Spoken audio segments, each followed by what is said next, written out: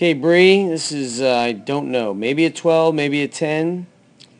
You're getting tall here. The run is pretty good. Right on top of that step, and that's when we're in the last few strides. We want to see you running tall, the contacts underneath the hips, and we're losing some of your feet here, but that looks like you're second to last. That looks long. For some reason, you definitely are stretching out there. We never want to see that thing almost extend fully. We want to see that controlled a lot more. And you can see you hit the heel first. That should be flat. So just keeping that a little closer is going to be the fix for that.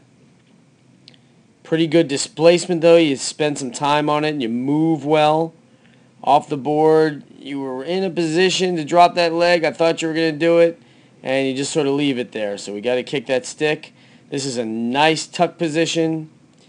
That's a really good pike. The problem, and one of the reasons this happens, is because without the leg dropping here, you tighten up the whole system. And when the system tightens up, it rotates faster. And when it rotates down far enough, you have to put the legs down Otherwise, you fall over it.